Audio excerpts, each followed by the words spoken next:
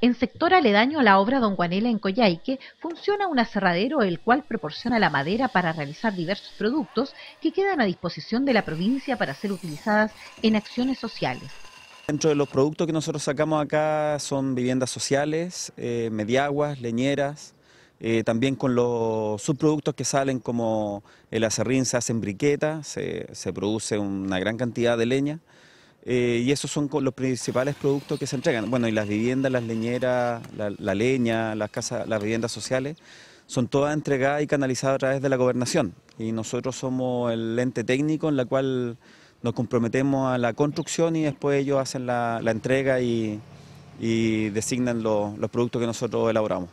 Las plantaciones de la Reserva Forestal Coyhaique son manejadas de acuerdo a los planes de forestación y su producto cumple con los objetivos del programa que hace 10 años da trabajo a más de 100 personas pertenecientes a los programas de absorción de mano de obra. Eh, los objetivos de este programa, aparte de, la absorción de mano de obra y dar trabajo a estas 100 personas, también cumple un rol súper importante por eh, dar cumplimiento a la necesidad a veces para viviendas de emergencia, viviendas sociales, leñera o mediagua. Por lo tanto, los objetivos en realidad son súper importantes. Y sumado a esto, el manejo que se está haciendo en la reserva, que también tiene un criterio silvícola y un manejo en la cual eh, le damos eh, mejoras al área que, que obviamente también es bien visitada por las localidades.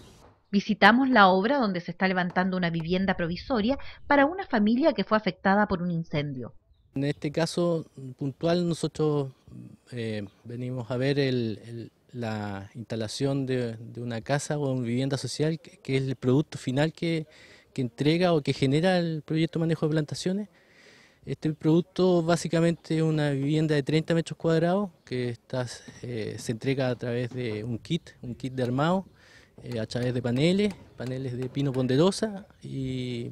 el trabajo se realiza básicamente la elaboración de los paneles y el trabajo completo eh, en el taller Obra Guanela. Agradecemos al equipo de trabajadores y trabajadoras quienes nos solicitaron mostráramos a la comunidad el fruto del trabajo de hombres y mujeres que diariamente laboran en estas faenas, cuyo fin último es ser un aporte a la comunidad, en especial a quienes más lo necesitan.